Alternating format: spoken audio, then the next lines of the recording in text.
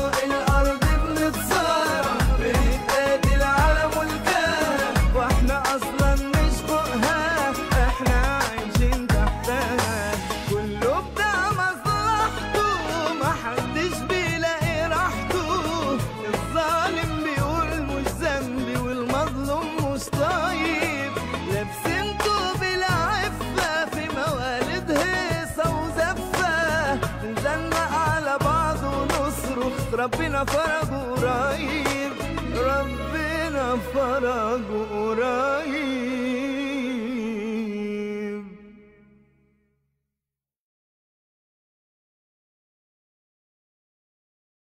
بس دي شيلة كبيرة قوي أنا ما كنتش عاملة حسابي على كده. يعني هتقدري تشيلي ولا تقيل عليكي؟ بتهيألي إنها لو تقيلة عليا ما كنتش فرجتني عليها. مش كده؟ الصراحة إن أنا من ساعة ما شفتك وأنا عرفت إيه اللي على مقاسك وإيه اللي مش سكتك. الله. وكمان عارف اللي على مقاسي ده أنت عينك عليا من زمان قوي بقى. من ساعة ما شفتك عند بدير الله يرحمه وأنا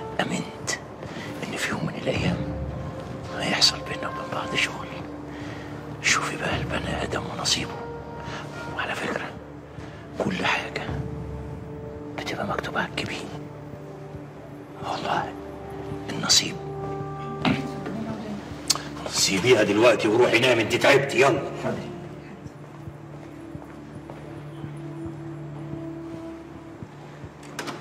هو إحنا كنا بنقول إيه؟ كنا بنقول على الجبين ويا ترى بقى كان مكتوب على جبينك إن أنت هتشيلني عقود ب 50 مليون؟ خمس.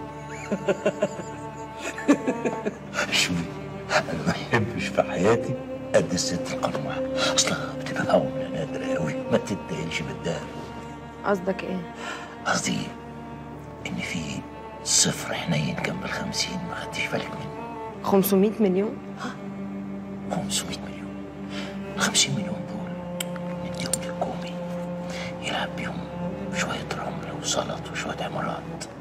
إنما بقى اللي مع الشايب نخليه للآخر وفي الأخير إيه؟ ربه كريم. اوعى بس تقول على نفسك شيء ده انت في عز شبابك. بس مال إيه ده اللي ب 500 مليون؟ مدينة. مدينة كاملة واسعة أوي. الناس تجيها 100 مرة وما يجيبوش آخرها. بس أنا معيش سيولة لكل ده. وأنا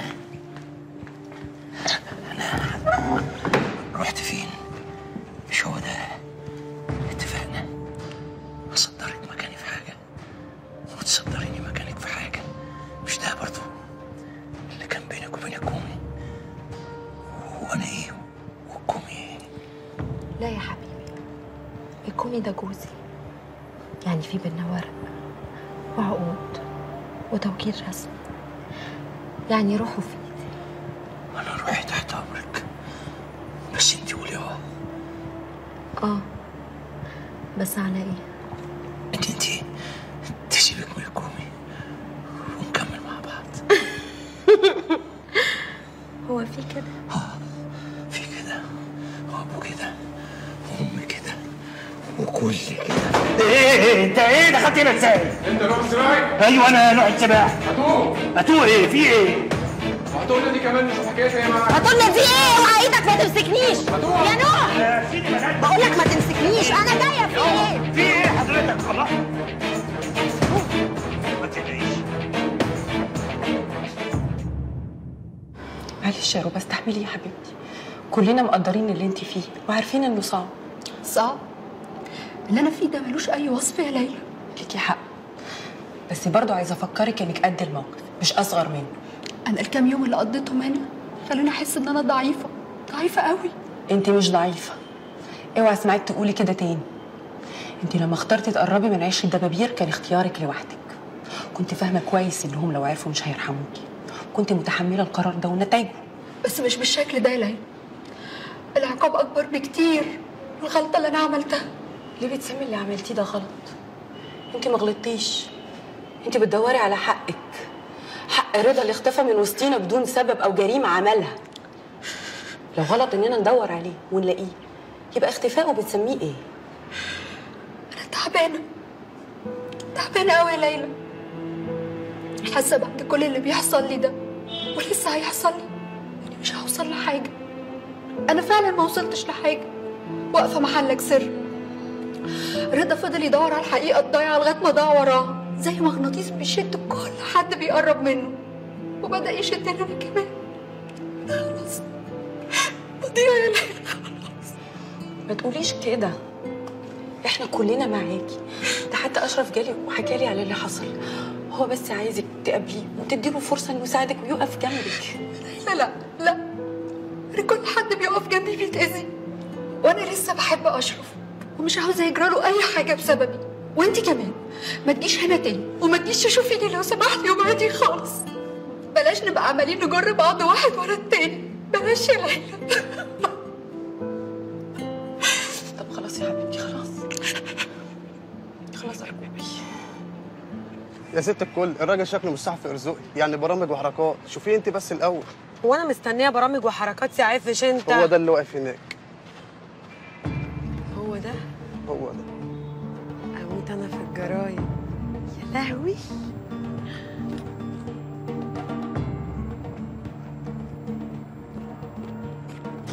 مساء الخير.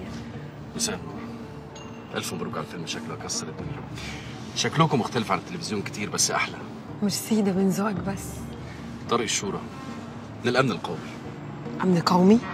أمال الواد المنيل على عينه قال لي خير يا باشا. بس أنا فيلمي كله هلس ومسخرة يعني. مفيهوش حاجة كده ولا كده؟ لا وأنا مش جاي عشان كده. أمال عشان إيه؟ أنا جاي بخصوص نوح السباعي. هو مشرف عندنا دلوقتي في النيابة وشكله كده هيورطك معاه في مشكلة. نروح في النيابة وهيورطني؟ أنا مش فاهمة حاجة يا باشا. ما ترسيني على الحوار أنا قافلة تليفوني من الصبح وفاصلة عن الدنيا كلها. ماشي يا ست أنا فاهمك. نوح السباعي مشرف في النيابة بقاله ساعتين. متهم بالإتجار في المواد المشعة. مواد مشعة؟ وده من إيه إن شاء الله؟ المواد المشعة محظور استخدامها غير في جهات معينة في الدولة. ما اخبيش عليكي من فترة جالنا بلاغ إن المعامل بتاعك ستار للتجارة دي. بس بعد التحريات لقينا إن مفيش أي حاجة وكل شيء ماشي مظبوط. فاعتبرنا البلاغ ده كيدي وتحفظنا عليه. كايدي؟ نهار أسود. كل ده يحصل من ورانا وإحنا نايمين على ودنا لغاية ما لقينا عينة مشعة مع حد. بعد ما كشفنا عليها لقينا إن هي طالعه من المعامل بتاعكم فاتقبض على نوح السباعي. طب يا باشا بس يعني هو حضرتك يعني جاية تطمن ولا تطمني ولا جاية تاخدني أنس جنبه ولا إيه؟ لا أنا للأسف جاي عشان اخليكي تنسي مكانه. نعم إن شاء الله. ما دي التوريطة اللي جوزك ورطك فيها. نوح أنكر ملكيته المعامل واللي أنت مسؤوله عن كل حاجة من أول الملكيه لحد الإدارة. عرفت أنا هنا ليه؟ لو سمحت اتفضلي معايا. أتفضل على فين يا باشا؟ ما أنت قبل لازم تعرف. طقم المعامل ده كله عبارة وبس. أنا كنت بلبس بلاطي ولا ليا في سكر صايم ولا فاضي. آه وقال لي الضرايب وابصر إيه واخبيهم في عبك يا علا. قلنا ماشي. إنما يورطني ويحطهم على راسي ده شعري ده يبقى على ذكر ولا يكون على رقاصة. طب أنت عندك يثبت ده؟ آه طبعا. ورقة واخداها عليه. وقت ما يحصل حاجة كده ولا كده الحرامي هو اللي يلبس. طب كويس. ما تيجي بقى نكمل كلامنا في المكتب. طب ما تستنى بس نعدي على المحامي أجيب الورقة من عنده واجي معاك على طول. وإحنا ماشيين هنعدي على المحامي. طيب هجيب شنطتي واجي. انت عزاف هات شنطتي. يعني ما بتنكرش يا سيد نوح؟ وحنكر ليه سعادتك؟ العينات فعلا خرجت من المعامل بتاعتنا. زي المحامي ما قال لسعادتك من فرع المنيال كمان. ولازم سعادة الباشا يتم التحقيق الداخلي في الفرع ده للوصول للي عمل كده. جرايه متر انت ناسي إن الموضوع بقى في إيدين النيابة العامة ولا إيه؟ آسفين يا باشا. لا مش ناسيين طبعا. بس المعامل بتاعتنا يعني تحت أمر سعادتك. عايز تفتش في أي وقت. أهلا وسهلا. إحنا ورقنا سليم بالصلاة على النبي. وسعادتك دي تصاريح هيئه الإشعاع والطاقة الذرية. الجهة الوحيدة المنوط بيها. السماح لنا باستيراد المواد ذات الخاصية الإشعاعية لاستخدامها في الأغراض الطبية. اتفضل سعادة الباشا. في سعادتك برضو تاريخ دخول الشحنة مصر وتاريخ استلام لجنة المعامل ليها. يبقى تفسر بإيه خروجها من المعامل؟ لا سعادتك. هي ما خرجتش كلها عينة بس هي اللي خرجت. وممكن ده يكون خير أو يمكن ده يعرفنا إن في ناس حرامية من جوه بيخرجوا الحاجات دي لحسابهم يعني. تقصد لحساب علي الميري؟ لا بعد إذن سعادتك أنا لا أعرف حد اسمه علي الميري ولا علي الملكي. بس انت صاحب المعامل اللي تم تسريب العينة منها. business سعادتك عامل business للجماعة المدام. ما تاخذنيش يعني. بس أنا لقيت شغلانة الأمراض دي ماشية يعني وعلى قفا من يشيل قلت إيه المانع؟ نستثمر فيها شوية. وسعادتك دي أوراق ملكيه السيدة علا عربي. لسلسله معامل دلتا زوجة الشيخ نوح. موكلي مجرد ممول فقط لا غير. بعدين افرض سعادتك. إن هي عملت حادثة بعربية أنا مشتريها لها بحر مالي. أقوم أنا أتحبس. ولا إيه يحكم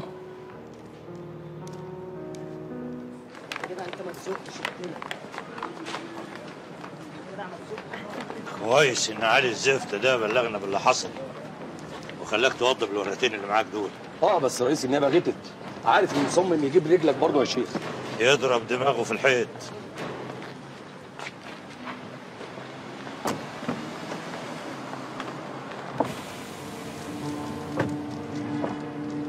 المهم دلوقتي عندي حاجتين. عقله تفطمها على الليلة كلها. ولو ساعد عليك شغل العوالم تقرصها قرص صح والحاجة التانية يا شيخ؟ تعرف لي مين السبب في العك اللي بيحصل لنا ده كله؟ مفهوم؟ مفهوم يا شيخ نوح. أول ما تخلص تكلمني. آه بقول لك إيه؟ يا مدام فريال فين دلوقتي؟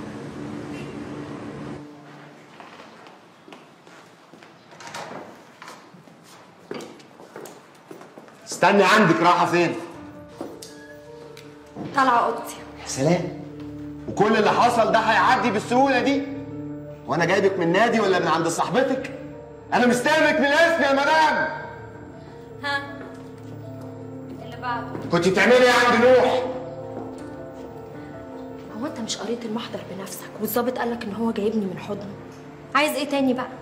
صدق اللي تصدقه. ومش بعيد بكرة تلاقي الجرايد كاتبة ولا نازل سيديهات ليا أنا وهو كمان. وبقف معاه. ما هو انت كده. ودني كلمة بتوديك وكلمة بتجيبك. كلمة؟ كل اللي حصل ده بتسميه كلمة؟ انت اتجننت ولا إيه؟ سيب ايدي. دلوقتي بس عرفت انت كنت عايزاني اشاركه ليه.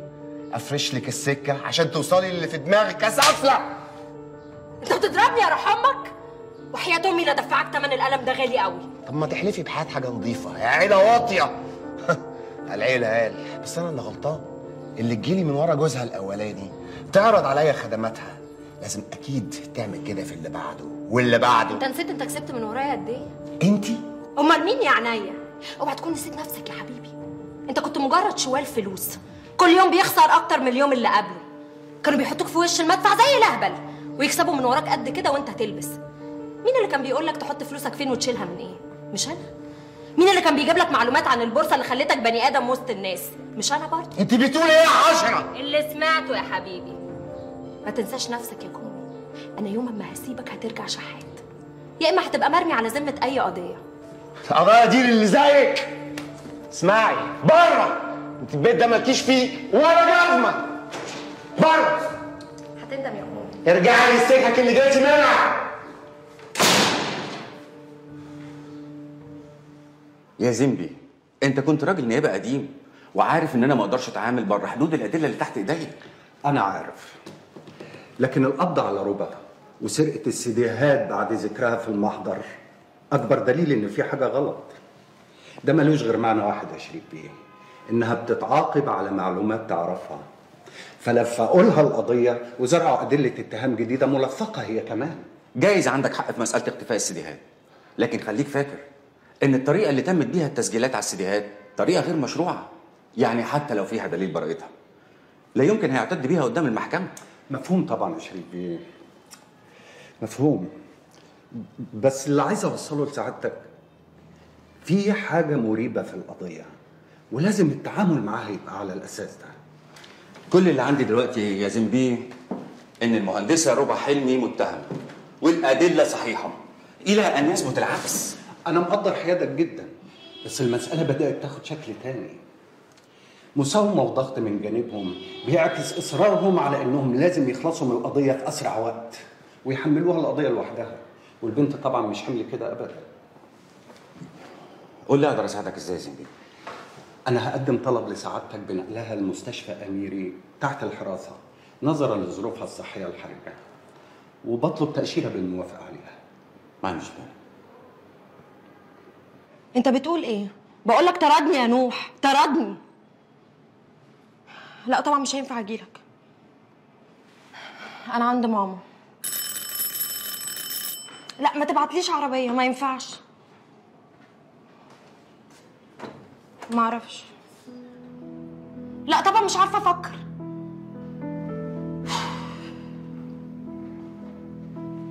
هكلمك تاني. ما تقعد يا جمال يا حبيبي البيت بيتك. طبعا. ما هو مولد واللي عايز يشمت يتفضل. أصل الذبيحة لما بتقع سكاكينها بتكتر.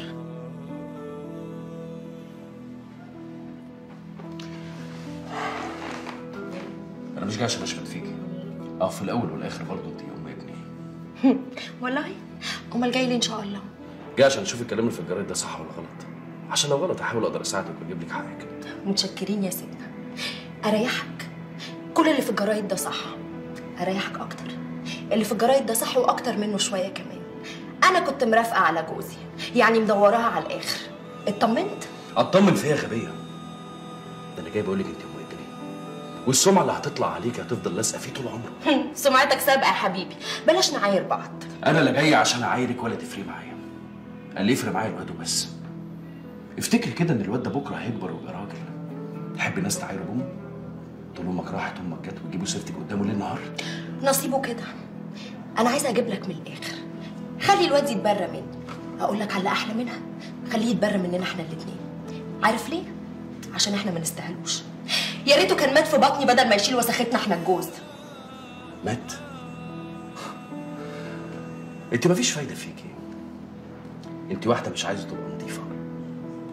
لكن أنا بحاول أبقى نظيف. كل اللي بيحصل لي ده عشان بحاول انضف بحاول أتغير عشان الواد ده. لكن انت حجتك إيه؟ بعتي كل حاجة وجريتي. سبت الدنيا اللي أنا عملتها لك. كل ده بسبب إيه؟ بسبب الحقد والأنانية اللي مالوا قلبك. اللي خلوكي مش شايفة حاجة غير الفلوس وبس. انت مبسوطة دلوقتي؟ افرق اللي السكينه سرقاكي ومش شايفة غير روحك وبس. الواد بكرة هيكبر ويشوفك في الشارع ويدور وشه عشان بيستعر منك. ساعتها الفلوس هتسوى حاجة. أكيد لا.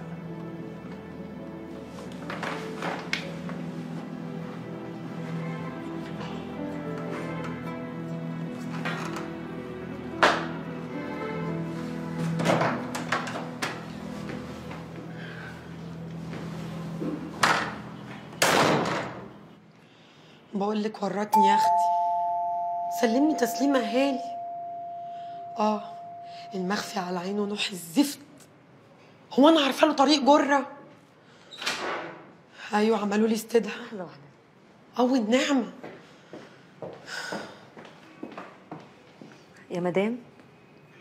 مين اللي جاي موكوس واحد من طرف الشيخ نوح. بيقول إن اسمه أستاذ جميل المحامي. طب خليه يخش. حاضر. أيوه حبيبتي. معلش هكلمك تاني. سلام دلوقتي. اتفضل.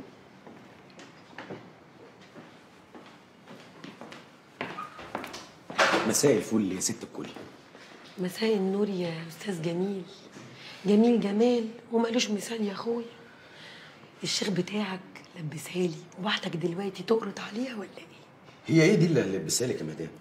العم يا صبي الشيخ النيابة بعتت لي شكلكوا كده هتلبسوا لي الليلة كلها. ويظهر البيت بتاعك نسي ان مراته ومسؤولة منه ولا إيه؟ إيه دي كده يا مدام؟ مفيش كلام من ده. امال أنا جاي لك هنا ليه؟ ارمي في عيب برمي آه الشيخ على فكرة اتفاجئ زيك بالظبط وكان لازم يتصرف. ومعلش جت فيك انت بس إحنا بتوع بعض ولا إيه يا مدام؟ وآخرتها بقى يا بتوع بعض؟ آخرتها خير إن شاء الله. أنا جاي أقول لك الكلام اللي هتحفظيه وتقوليه قدام رئيس النيابة. كلمتين ورد غطاهم.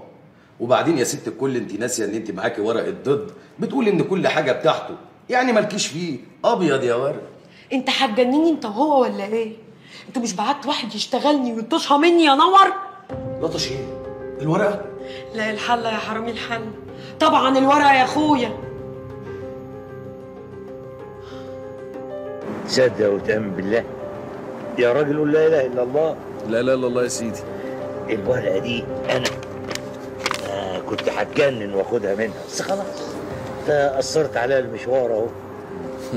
الورقة دي بقى كانت ممكن تشيلك الليلة كلها. آه بس خلاص بقى. الورقة بقت معاك. وبعدين أنا إيه وأنت إيه؟ ما إحنا واحد. حبايب يعني. وعلى فكرة أنا مش زعلان من الكلمتين اللي أنت قلتهم لي آخر مرة. وعرض الشغل بيننا وبين بعض ده ما زال قائم ها؟ قلت إيه بقى؟ تصدق بالله؟ قول لا إله إلا الله. لا إله إلا الله. وأنت صدقت نفسك ولا إيه؟ الورقة دي مش للبيع يا نوح. الورقة دي عشان انزلك بيها. أعرفك قيمتك وحجمك هخليك تندم على اليوم اللي طلعت لك فيه مش أكتر. اهم اللي بيذل العباد ربنا. أنا- وبعدين بتعمل كل ده ليه؟ هتاخد من وراه ده إيه يعني؟ مزاج. بتسلى عليك لحد ما تدلنا على مكان المهدي. مهدي؟ يا دي المهدي وادي سرت هو أنا لو أعرف طريق المهدي هخبيه منك ليه؟ السؤال ده تسأله لنفسك. هترد عليه كويس بقى الأيام اللي جاية لما تعرف المفاجأة اللي أنا محضرها لك. بس عايزك بقى تفكر كويس هتقول إيه لمسعود حجي؟ لما يعرف إن أنت السبب على جره على النيابه طب أنا مالي ومال مسعود حج ونيابة إيه اللي أنا قلتها؟ إحنا هنقعد بقى نهرف كلام ملوش لازمة. أنا مش فاضيلك يا نوح. اصبر بس. وإيه آخرته الكلام اللي أنت بتعمله ده؟ آخرته أنا ممكن أشيلك من دماغي خالص. بس تقولي على كل اللي عايز أعرفه. عليك وعلى منصور حج شوف المرة اللي أنت شفتني فيها أنا ومسعود دي كانت أول مرة أشوفه. وقال لي إنه مسافر عشان يقابل المهدي. بس أقسم بالله العظيم ما قال لي هيقابله فين؟ وقال لي كمان إن دي أول مرة هيشوفه فيها وإنه مش طايق يشوفه من أصله وإن الزيارة دي ملهاش أي لازمة. بس لازم هو وشريكه طه يعملوا الزيارة دي عشان يبقوا عمل اللي عليهم قبل ما يعملوا الخطوه التانيه خطوة تانية زي إيه يعني؟ ما هي دي بقى الجملة اللي أنا حسيت إنها وقعت. وإنه ندم إنها طلعت. أنا كمان عملت إن أنا ما خدتش بالي عشان ما اخوفوش مني. هو ده كل اللي حصل.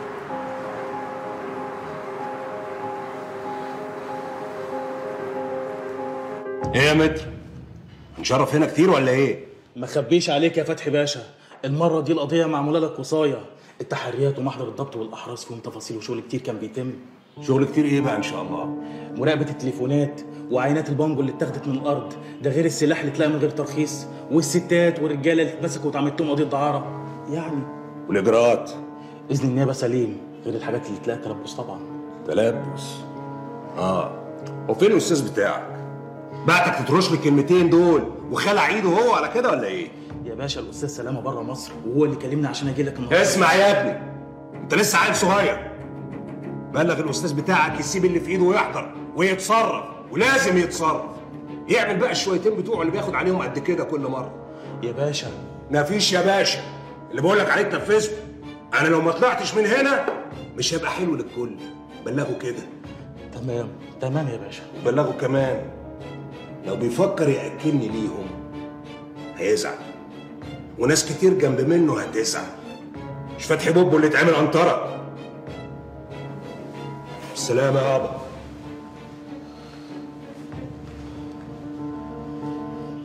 من فضلك بقى سيبيني بقى حرام عليك. حرمانية هي يا بنت. ده لحد دلوقتي ما حصلش غير الأصول. واسمعي أنت مالكيش دخول الجنه إلا برضا جوزك.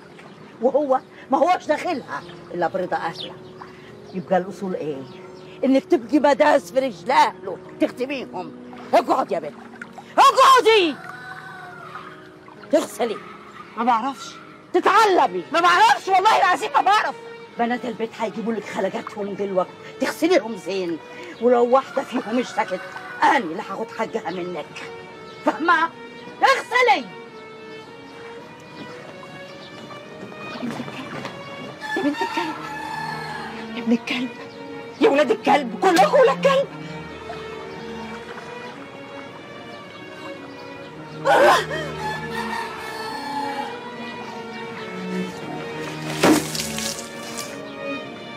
وقهر نفسك ليه بقى من الكلمتين اللي سمعهم لك طريقك كان عنده حق يقولك على الجرح مش كده؟ جمال طول عمره كان عنده حق. أنا فعلا زي ما هو بيقول. طماعة وأنانية والسكينة سرقين هو الوحيد اللي كان بينصحني بدنيتي وكان بيصبر عليا. كل كلمة كان بيقولها لي كنت ببقى متأكدة إنها في مصلحتي. بس كنت بعند بقول لا. معرفش ليه. يبقى عمرك ما حبيتيه. بالعكس. أنا عمري ما حبيت غيره. ومتأكدة إن ده أكتر واحد حبني في حياتي. كنت بصدق كل كلمة بيقولها لي.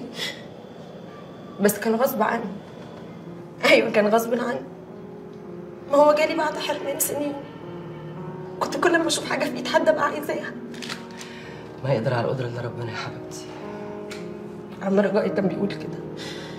بس أنا كنت عايزة ساحر. وجمال مش ساحر. جمال ما كانش حالته غير قلبه وحنيته وأنا ضيعته. شكرا.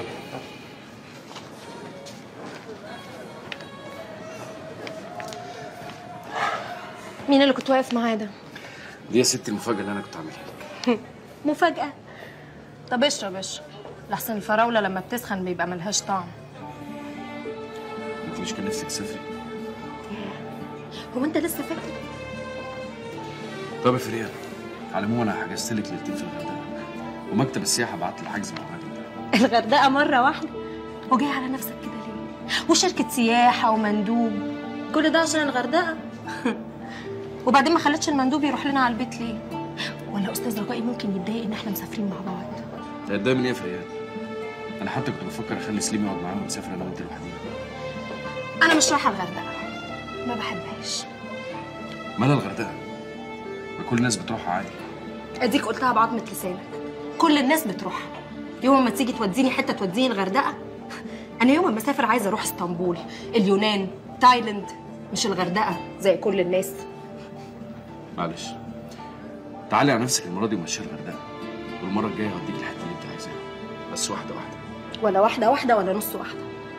جمال أنا بقالي قد إيه قايلة لك إن أنا عايزة أسافر؟ وأنا كنت مشغول هعمل إيه؟ وايه الجديد يا حبيبي؟ ما أنت على طول مشغول.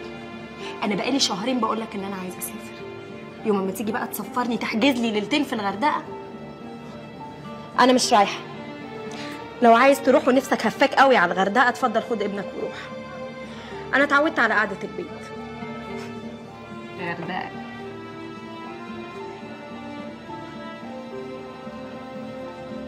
ولما هي الحكاية كده كنت بتتمردي ليه بقى على عيشتك ومش طايقاها؟ ندمتي دلوقتي يا فريال؟ ندمتي وعرفتي ان انت ظلمتيه وظلمتي ابنك وظلمتي روحك كمان قبليهم؟ عرفت. هيفيد بإيه الكلام ده دلوقتي؟ حتى النصيحة مش عايزة تسمعيها نصيحة؟ انت مصدقة نفسك؟ نصيحة إيه؟ هو أنا مين اللي خلاني كده؟ مش انت مين اللي كبرني على الحرمان؟ مش انت برضو؟ أفكرك لو ناسية. مين كان بيقول لي يا بت؟ شوفي دي جابت فلوس منين. شوفي عملت إيه. شوفي عايشين إزاي. مش كل ده انت ولا نسيتي الكلام اللي كنت بتقوليه لأبويا؟ دلوقتي جاية بتنصحيني؟ خليها لنفسك. خليها لنفسك يا ست الشيخ. ولا أقول لك ما بقاش فيها فايدة أصلا. معاكي حق. ما هو اللي يبدأ عوج يتنه طول عمره عوج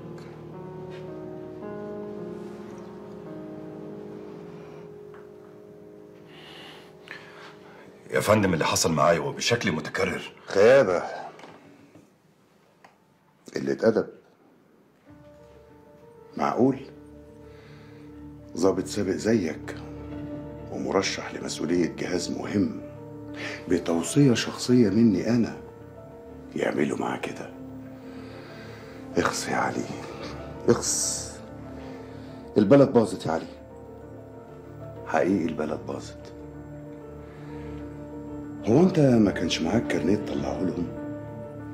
طب يا أخي كنت اتصل بيا وأنت معاهم في الكمين كنت اتوسط لك وأخلصك على طول. بس هقول إيه بقى؟ هقول إيه كل عمل بشري مهم وإنجاز عظيم لازم يبقى فيه نسبة فشل حتى لو واحد في المليون. وده ما بيأكدش ضعفه. بالعكس. ده بيثبت سلامته. وارد جدا إن يحصل فيه مشاكل بس بتتحل. وأنت يا علي بقى؟ نسبة الفشل دي. يا فندم اللي حصل معايا وبشكل متكرر. بيدل على إن في حد من جوه الجهاز بيعطل شغلي وإحنا مش ملايكة يا علي. إحنا مش ملايكة.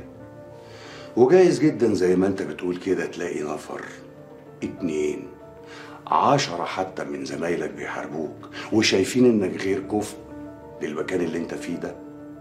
دورك بقى إنك كنت تستحمل وتاخد فوق نافوخك وفي نفس الوقت تنفذ المطلوب منك بأعلى كفاءة. أنا بطلب من سعادتك فرصة أخيرة. أعالج بيها الموقف. أرجوك. فرصة أخيرة. فرصة أخيرة ليك ولا ليهم؟ يا فندم. اوعى تفتكر إن واحد بضعفك ده أنا هسمح لهم إن هم يكسروه أكتر من كده. وبالتالي أنت في أجازة مفتوحة يا علي. وأنا كده ببقى بحميك. عارف ليه؟ عشان أنت نسبة الفشل اللي بتثبت سلامة شغلنا.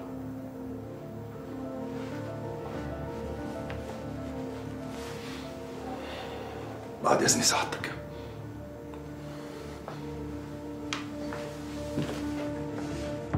خلي بالك بس وتابعني بأي جديد. مع السلامة. مع السلامة يا فندم. أيوه في حاجة؟ لا بس كنت بشوفك جاي على الغدا ولا لأ؟ احتمال. أو أقولك مش هينفع لأني هضطر أنزل تاني بالليل. كيكي كويسة؟ آه الحمد لله. في حد من المكتب باعت معاه علبتين دواء ليها تمام. خديهم منه تمام. هكلمك تاني. أوكي. سلام. مع السلامة. هو هيروح إمتى؟ السبت بس آه، تمام صح هي 320 القاهرة طيب. هكلمك تاني.